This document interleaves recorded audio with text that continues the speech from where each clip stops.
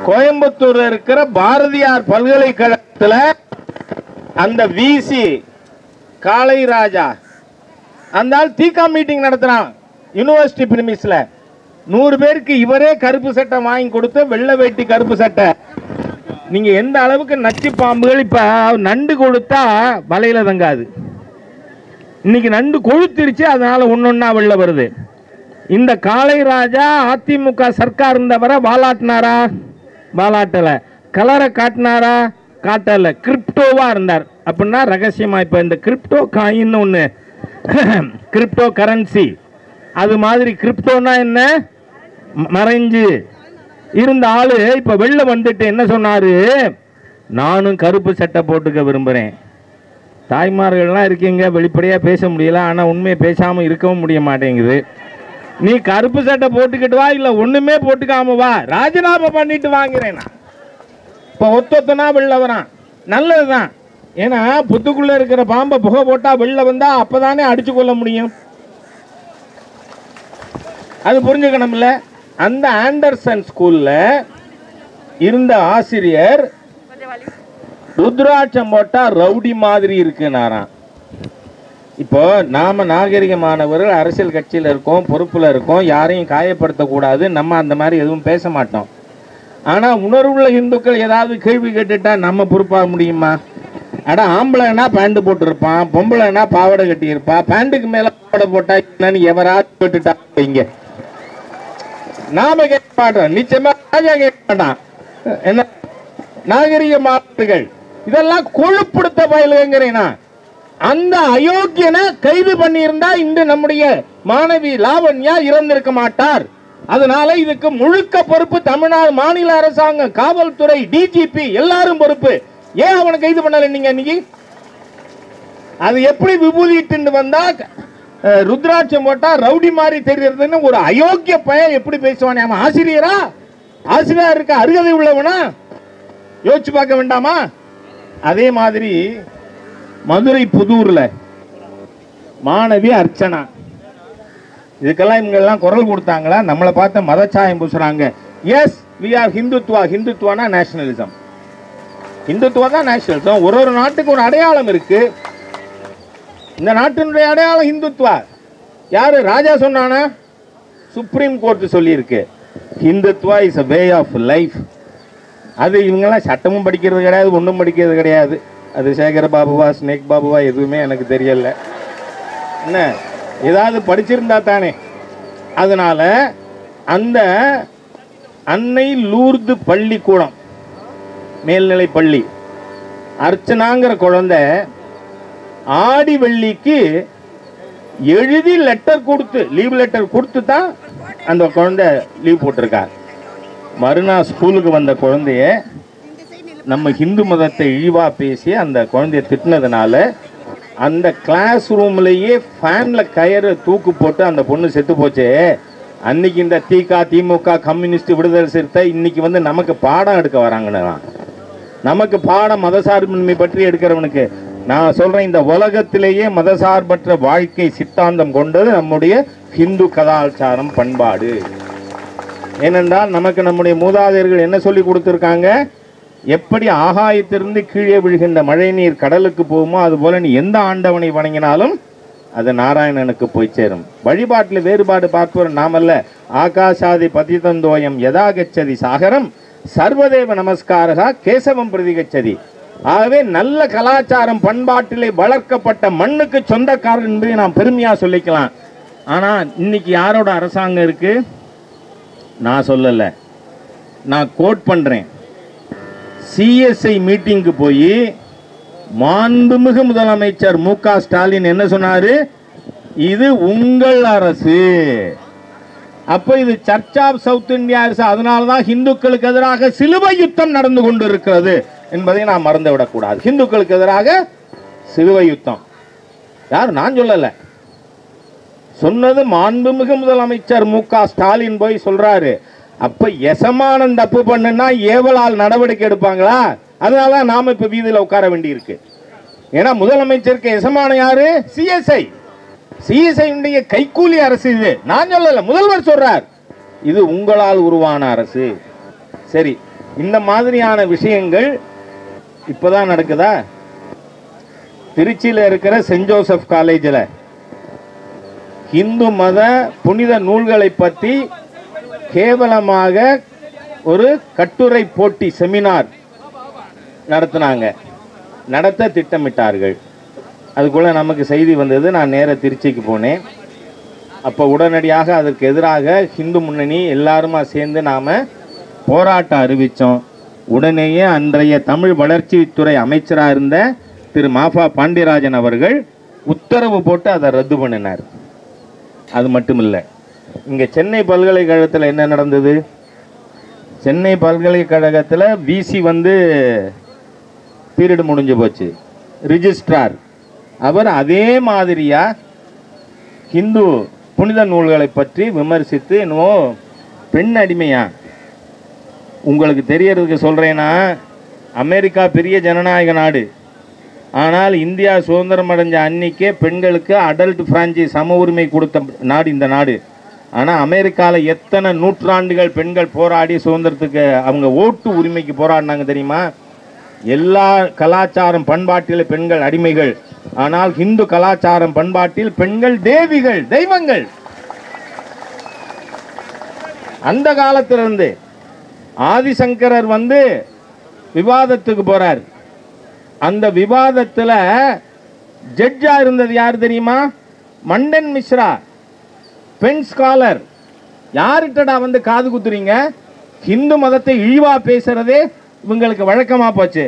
நீங்கள் பார்த்தீங்கன்னா இந்த பன்னியோடு சேர்ந்த கண்ணும் என்னவோ சாப்பிடும். இங்கே கேஎஸ் அடுகிரின்னு ஒரு கண்ணு அவ கண்ணாக இருந்தது. அது இப்போ இந்த திராவிட ஸ்டாக்கோட சேர்ந்து அவர் சொல்றாரு திருமாவளவனுக்கு ஆதரவு கொடுப்பாராம் சனாதன ஹிந்து தர்மத்தை வேற இருக்க நான் உடனே மறுநாள் பதிவு போட்டிருந்தேன் இதை வீடு வீடாக எடுத்து செல்வோம்னு. அவர் தமிழ்நாடுன்னு நினச்சுட்டார். நான் ஏற்கனவே இது உத்தராஞ்ச உத்தரகாந்துக்கும் உத்தரப்பிரதேசத்துக்கும் நம்ம நிர்வாகிகளுக்கு அதை டிரான்ஸ்லேட் பண்ணி அனுப்பிச்சிட்டேன். வீடு வீடாக போகும் அது. காங்கிரஸ் இப்போவே சொல்கிறான் ஜீரோ டு ஃபோருங்கிறான் யூபியில் காங்கிரஸுக்கு எவ்வளோ சீட்டு வரும்?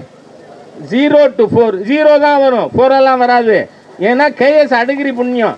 அவர் சொல்றாரு சனாதன தர்மத்தை அழிப்பதற்காக திருமாவளவன் எங்கள் ஆதரவை விரும்புகிறார் அதனால நாங்கள் கொடுப்போம்னு. அதை அப்படியே ஹிந்தியில் டிரான்ஸ்லேட் பண்ணி அனுப்பிச்சிருக்கோம்.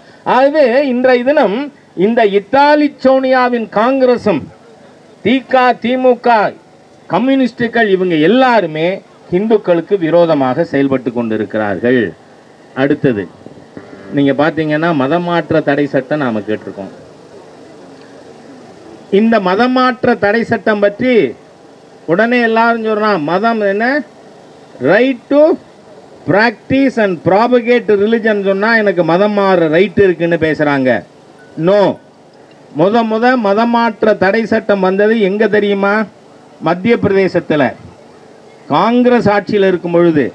இன்றைக்கும் மதமாற்ற தடை சட்டம் எங்கெங்கே இருக்குது மத்திய பிரதேசில் இருக்குது ஒரிசாவில் இருக்குது அருணாச்சல் பிரதேசில் இருக்குது இப்போ கர்நாடகாலையும் இருக்குது ஆகவே தமிழ்நாட்டில் இந்த மதமாற்ற தடை சட்டம் கொண்டு வர வேண்டும்.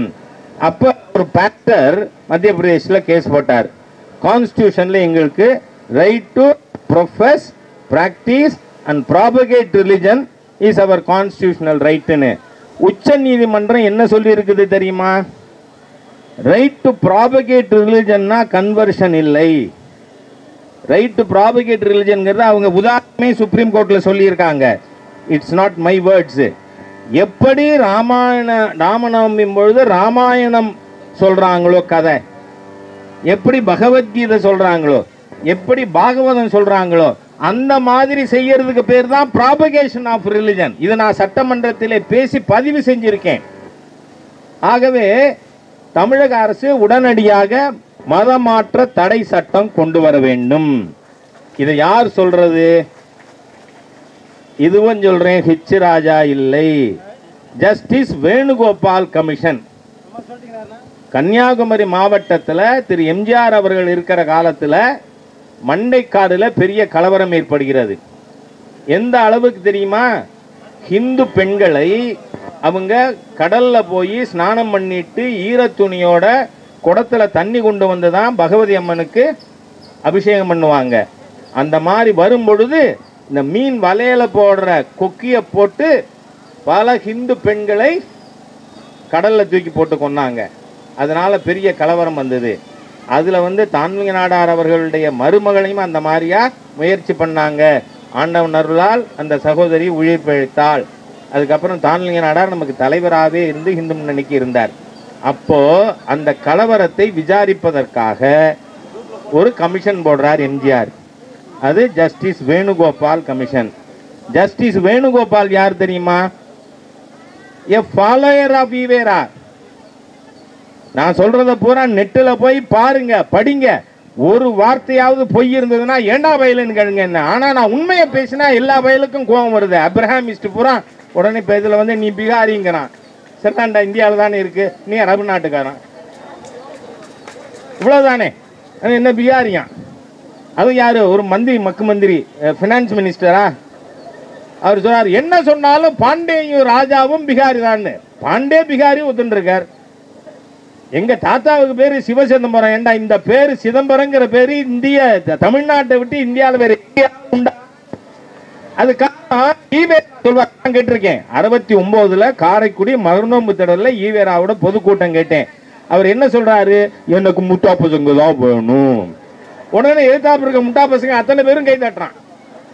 அவர் உடனே சொல்றார் நாயோடு வருவார் பொதுக்கூட்டத்துக்கு. நீங்க ஈவேரா கூட்டங்கள் பார்த்திருந்தா என் வயது ஒத்தவர்கள் எனக்கு அறுபத்தஞ்சு வயசு யங்னா I am sixty five years old இல்லை. சிக்ஸ்டி ஃபைவ் இயர்ஸ் யங்கு அப்ப அவர் சொல்றாரு எனக்கு நோயும் ஒண்ணும் நீயும் ஒண்ணுன்னு. ஒண்ணு எல்லாமே தட்டுறது. அந்த மாதிரியா முட்டாள்தனமா பேசக்கூடாது. ஜஸ்டிஸ் வேணுகோபால் கமிஷன் முக்கியமான பரிந்துரை என்ன பண்ணியிருக்கு? மதமாற்ற தடை சட்டம் வேண்டும். இது ஏதோ மகாத்மா காந்தி முப்பத்தஞ்சில் சொன்னார். அவர் என்ன சொன்னார்? எனக்கு அதிகாரம் இருந்தால் நான் ஒரு மணி நேரத்திற்குள் எல்லா விதமான மத மாற்றத்தையும் தடை செய்வேன். என்ன? த்ரெட் லூர் அப்பீஸ்மெண்ட் எதையுமே டிப்ளாய் பண்ணக்கூடாது மதமாத்த. ரெண்டாவது இப்போ சோப்பு விற்கிறான்னா அவன் என்ன சொல்லுவோம் ஆ? சோப்பு வியாபாரி. காய்கறி வித்தா? மதத்தை வித்தா? அவ்வளோதான் சோ சிம்பிள் ஆசச் இந்த மத வியாபாரிகள் அவங்களோட கைக்கூலி அரசாங்கம் வச்சுட்டு நம்மளை மிரட்டுறாங்களாம் இப்போ? அதுலேயும் நம்ம கல்வித்துறை மந்திரி பள்ளி கல்வித்துறை அருமை நண்பர் மகேஷ் பொய்யாமொழி. அவர் என்ன சொல்கிறாரு நாம் மதவாதமாக்குறோமா? நான் கேட்குறேன் உங்கள் ஊருக்கு பக்கத்தில் மணப்பாறையில் அப்பா போட்ட போர்வெல்ல சரியாக மூடாதனால மகன் இறந்தான் இல்லையா? அதான் நீங்கள் எந்த உயிரிழப்பும் வருத்தத்திற்குரியது. அதை யாரும் வந்து உயிரிழப்பை வந்து நியாயப்படுத்தவே முடியாது. ஆனால் நான் பத்து லட்சம் கொண்டு போவேன். நான் கேட்குறேன் ஏன் ஸ்டாலின் வந்து லாவண்யா வீட்டுக்கு நிதி கொண்டு வரல? அன்றைக்கி நீங்கள் அந்த மணப்பாறைக்கு போனீங்கல்ல? அது அரசியல் சம்பந்தமானது அரசாங்க தவறால் நடக்கவில்லை. நிர்வாக தவறால் நடக்கலை. அப்பா போட்ட போர்வெல் அது சரியாக மூடாதனால குழந்தை செத்து போச்சு. சரி நீங்கள் இதில் ஸ்ரீவைகுண்டம் தானே அந்த ரெண்டு பேர் தந்தையும் மகனும் இறந்தது. சாத்தாங்குளம். அண்ணன் விபி துரசாமி நம்ம பக்கத்தில் இருக்க நமக்கு ரொம்ப வசதியாக இருக்கு. என்ன? அப்போ அங்கே போனீங்களே ஏன்? நான் சார்ஜ் பண்ணுறேன் மிஸ்டர் மகேஷ் பொய்யாமொழி மிஸ்டர் ஸ்டாலின் அதெல்லாம் கிறிஸ்தவர்கள்ங்கிறதுனால நீங்க போனீங்க. லாவண்யா ஹிந்து குழந்தைங்கனால அனாதைன்னு நினைக்கிறீங்க. ஹிந்து விரோதிகளே சமூக விரோத தீய சக்தி இந்த முழு அரசாங்கம்ங்கிறேன் நான். அங்கேயே ஏன் போனீங்க அன்னைக்கு? கிறிஸ்தவ குழந்தை. ஓடுனீங்க. இங்கே லாவண்யாவுக்கு வரல. இந்து குழந்தை. இந்துனா சாக பிறந்தவங்கிறது திக திமுக கம்யூனிஸ்ட் விடுதலை சிறுத்தைகளோட சித்தாந்தம். இப்போ அழகிரியை சேர்ந்திருக்கனால காங்கிரஸுக்கு சித்தாந்தம். K S Alagiri. காங்கிரஸை குழி தோண்டி போதைக்கு ஒரு நல்ல நண்பர் கிடைச்சிருக்காரு நமக்கு. ஆகவே இந்த மதமாற்ற தடை சட்டம் என்பது ஜஸ்டிஸ் வேணுகோபால் கமிஷன் ரெக்கமெண்டேஷன் அது மட்டுமில்லை நண்பர்களே that report was adopted by the assembly when MGR was the chief minister justice Venugopal கமிஷனுடைய அறிக்கை சட்டமன்றத்தால் ஏற்கப்பட்டிருக்கிறது. அதனால் அவுட் ரைட் அதை கொண்டு வரணும். அது மட்டுமில்ல. அதில் ஜஸ்டிஸ் வேணுகோபால் என்ன சொல்கிறாரு ஹி டுவெல்த் அட் லெங்க்த் இங்கு இந்த மாவட்டத்தில் மதம் மாற்றுவர்கள் யாரும் தங்கள் மதத்தின் சிறப்பை சொல்லி மதம் மாற்றுவது கிடையாது. மாற்று மதத்தை இழித்தும் பழித்தும் பேசி மதம் மாற்றுகிறார்கள். எப்படி? நம்ம மோ ஆ, மோகன் சி. லாசரஸ் என்ன சொல்றாரு? கும்போணத்தில் நம்ம இந்து கோவிலில் இருக்கிறதெல்லாம் என்னவா? சாத்தானா. இந்த சைத்தான போலீஸ் கைது பண்ணாதீங்கன்னு நான் கேட்குறேன் காஞ்சிபுரத்தில் இருக்கிற கோவிலெல்லாம் சாத்தான் இருக்கான். இதைத்தான் ஜஸ்டிஸ் வேணுகோபால் சொல்றாரு. அவர்கள் தங்கள் மதத்தின் பெருமையை சொல்லி மதம் மாற்றுவது கிடையாது. மாற்று மதத்தை இழித்தும் பழித்தும் பேசித்தான் மதம் மாற்றுகிறார்கள். இந்த வயசாக எந்திரிச்சு நடக்க முடியாத ஒரு பாஸ்டர் பேர் என்ன? எஸ்ரா சர்க்குணமா? அந்த ஆள் என்ன சொல்கிறான் ஹிந்து கிடையாதான். மூஞ்சில ரெண்டு குத்து குத்தணுமா ரத்தம் வரணுமா? ஹிந்து இல்லைமானா நான் வந்து இப்ப எஸ்ராசர்கோட மூஞ்சில குத்துன்னு நான் சொல்ல மாட்டேன். ஏன்னா நம்மளாம் ஹிந்துக்கள் பண்பானவர்கள். ஆனா அந்த மாதிரி சொன்னவனையே ஏன் நீ நடவடிக்கை எடுக்கல? அது கேட்கிற ரைட் இந்துக்களுக்கு இருக்குல்ல? அதைத்தான் ஜஸ்டிஸ் வேணுகோபால் என்ன சொல்றாரு? இவர்கள் மாற்று மதத்தை இழித்தும் பழித்தும் இவர்கள் மதம் மாற்ற நினைக்கிறார்கள். அடுத்தது இன்னும் முக்கியமானது. குடும்பங்கள் சிதைந்து போகின்றன. ஃபேமிலிஸ் டிஸ்இன்டகிரேட் ஏன்னா அந்த வீட்டில் நீ அண்ணனையோ தங்கையோ மகனையோ மகளையோ மதம் மாத்தினா குடும்பத்துக்குள்ள கொந்தளிப்பு. இது எல்லாமே வேணுகோபால் கமிஷன்ல இருக்கு. ஆகவே மத மாற்றம் தடை செய்யப்பட வேண்டும். அதுக்கு அடுத்து சொல்றார் it tears the social fabric இந்த வார்த்தைகள் எதுவுமே என்னோட வார்த்தை இல்லை. It is there in the report of justice Venugopal commission ஆக அந்த மாதிரியாக ஏற்கனவே தமிழ்நாட்டில் கன்னியாகுமரி மாவட்டத்தில் மண்டைக்காடு கலவரம் தொடர்பான விசாரணை கமிஷன் நீதிபதி ஜஸ்டிஸ் வேணுகோபால் அவர்கள் சொல்லியிருப்பது போல நமக்கு மதம் மாற்ற தடை சட்டம் உடனடியாக கொண்டு வரணும். நாம் இந்த லாவண்யா பிரச்சனைக்காக ஊர் ஊராக நம்முடைய மாநில தலைவர் அவர்கள் ஒன்றிய அளவில் நகர அளவில் கிராம அளவில் போராட்டம் நடக்கும்னு சொல்லியிருக்கார். அந்த ஒவ்வொன்றிலையும் நாம் வலியுறுத்த வேண்டியது முதல்ல லாவண்யாவுக்கு நீதி. ரெண்டாவது இதுக்கு சிபிஐ விசாரணை. ஏன்னா வயிற் இதில் மடியில் கனம் இல்லைன்னா வழியில் பயம் தேவையில்லை. இந்த அரசாங்கத்துக்கு ஸ்டாலின் அவர்களுக்கோ மகேஷ் பொய்யாமொழிக்கோ பயம் இல்லைன்னா இவங்க என்ன பண்ணலாம்? சிபிஐ விசாரணைக்கு உடனடியாக எழுதி கொடுக்கலாம். அடுத்து மதம் மாற்ற தடை சட்டத்துக்காக. இன்னும் ஒரே ஒரு விஷயத்தை சொல்லி என்னுடைய உரையை முடிச்சுக்கிறேன். இந்த அரசாங்கம் கொலை பாதகம் செய்ய அஞ்சாத அரசாங்கம். இவர்களுடைய அரசு எந்திரம் ஹோல் அட்மினிஸ்ட்ரேட்டிவ் மிஷினரி கொலகார எண்ணத்தோட செயல்பட்டு கொண்டு இருக்கு இப்போ பொங்கல் தொகுப்பு. பொங்கல் தொகுப்புல எத்தனை பொருள்? உங்களுக்கெல்லாம் தெரியல. இருபத்தி ரெண்டு. ஏன்னா பள்ளியை நீங்க விட்டுட்டீங்க. பொங்கல் தொகுப்பு எத்தனை? இருபத்தி ரெண்டு புலியில பள்ளி இருக்கு. நந்தன்கிறவர் திருத்தணியை சேர்ந்தவர். அவர் அதை பொது வெளியில் பாருங்க இந்த இருக்குன்னு காட்டுறார். நியாயமா நந்தன் என்ன பண்ணியிருக்கணும் தெரியுமா? இப்போ நாம ஒரு ம ப்ரைவேட்டு மளிகை கடையில் போய் சாமான் வாங்குகிறோம் அதில் கரப்பாம்பூச்சியோ பள்ளியோ இருந்தால் என்ன பண்ணுவோம்? கன்சியூமர் கோர்ட்னு ஒன்று இருக்கு. நம்ம இந்துக்களுக்கு சொல்கிறேன் நீ கோவில் ரெக்கார்டும் மெயின்டைன் பண்ண மாட்ட அதை பற்றியும் கவலைப்பட மாட்ட. ஏதோ கோயிலில் போனேன் தட்டில் காசை போட்டேன் திருநீர் வாங்கினேன் வந்தேன் ஹிந்துவா இருக்கேன்னு. நோ அந்த கோவிலோட சொத்துக்கள் பராமரிக்கப்படுகிறதா? அந்த கோவில் சரியா நிர்வகிக்கப்படுகிறதா? ஏதாவது ஒரு கிறிஸ்தவரோ ஒரு முஸ்லீமோ அவரவர் வழிபாட்டு தலத்தை யாராவது மிஸ்யூஸ் பண்ணா சும்மா இருப்பானா? இந்த சேகர் பாபு? எத்தனை இது? நீங்க பாத்தீங்கன்னா ஏழு ஆறு ரெண்டாயிரத்தி இருபத்தி ஒன்று வந்த ஜட்ஜ்மெண்ட்டுக்கு அதை நான் செயல்படுத்த மாட்டேன்னு ரிவ்யூ பெட்டிஷன் போட்டிருக்கு இந்த அரசாங்கம். ஆன்டி ஹிந்து கவர்மெண்ட் தானே? இப்போ இந்த திருத்தணி நந்தன் அவர் கேஸ் போட்டிருக்கணும். ஆனால் போடுறதுனா யார் மேலே போடுறது? ரேஷன் கடைக்காரன் மேலேயா? அவன் என்ன பண்ணுவான் பாவம்? மந்திரி காசை வாங்கிக்கின்னு கலப்பட பொருளை வாங்கி கொடுத்தா. அதனால மந்திரி சக்கரபாணி மேலே கன்சியூமர் கோர்ட்டில் கேஸ் போட்டிருக்கணும். ஆனால் அதை சோஷியல் மீடியாவில் காட்டினதுக்காக திருவள்ளூர் மாவட்ட காவல்துறை நந்தனை பிணையில் வெளியே வர முடியாத செக்ஷன்ல கைது பண்றாங்க. அதனால் மனமுடைந்த நந்தன் மகன் குப்புசாமி தீ ஊத்தி கொளுத்திக்கிட்டு செத்து போயிட்டான். ஏண்டா கொலகார பயில்களா? அந்த கேஸ் போட்ட போலீஸை ஏன் இன்னும் கைது பண்ணலன்னு கேட்குறேன் நான். அந்த கேஸ் போட்ட போலீஸ் குண்டாஸ்ல கைது பண்ணணும். என்ன இந்துக்கள் உயிர்னா அவங்களுக்கு அவ்வளவு சல்லுசா போச்சா? கொலகார அரசாங்கம் இன்னைக்கு இருக்கிற இந்த ஸ்டாலினோட அரசாங்கம். அது எப்படி பண்ண முடியும்? அவர் வந்து எலி இது பள்ளி இருந்ததுனால தானே காட்டினாரு. நீ என்ன பண்ணியிருக்கணும்? முதல் மந்திரி சொல்றாரு இப்ப பாருங்க முதலமைச்சர் என்ன சொல்றாரு? நாங்கள் கலப்படம் செய்தவர்கள் மீது கடுமையா நடவடிக்கை எடுப்போம்னு. ஆனா சக்கரபாணி என்ன சொல்றாரு? தவறே நடக்கவில்லைன்னு. நான் கேட்கிறேன் அவரு சொல்ற வாய் நல்ல வாயா? இவரு சொல்ற வாய் நல்ல வாய்? கவுண்டமணி மாதிரியா இருக்கே இது. அது வேற. நீங்க அது மட்டும் இல்லைங்க. ஒருத்தர் பயணிக்கு போய்கிட்டு இருந்தாராம் திடீர்னு போலீஸ் அவரை கைது பண்ணிட்டான். கைது பண்ண உடனே நம்ம பிஜேபி காரங்க கேள்விப்பட்டு ஸ்டேஷனுக்கு போய் அட ஏங்க பயணிக்கு பாத யாத்திரை போறவரை கைது பண்ணீங்க? அப்படின்னு கேட்டதுக்கு இல்ல அரசாங்கத்துக்கு எதிராக இவர் அவதூறு பரப்பினார்.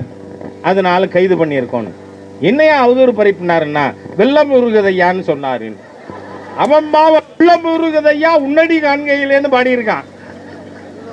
இவன் என்ன நினைச்சிட்டான்? வெள்ளம் உருகுதையான்னு அதனால அரசாங்கத்துக்கு எதிராக அவதூறு பரப்பினாருன்னு போய் அந்த பயணி முருக பக்தரை கைது பண்ணிவிட்டானுவ அந்த மாதிரி இருக்கு இப்போ ரவ்லிவே பிரியாவா?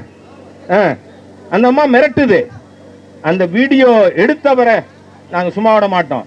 அதை பரப்பினவங்கள நாங்கள் சும்மா விட மாட்டோம். ஆனால் நீதிபதி சொல்லிட்டார் கபர்தார் டச் நாட் ஆகவே நண்பர்களே அது எதனால் நடக்குது? நாம வீதியில் திரண்டிருக்கிறதுனால. ஆகவே இந்த மக்கள் விரோத ஊழல் அரசாங்கம் உச்சநிலையில உள்ளங்கால் வர ஹிந்து விரோத அரசாங்கம் கோவில் இடிக்கிற அரசாங்கம் இதுக்கு குட் பை சொல்லணும்னா எப்ப சொல்லணும்?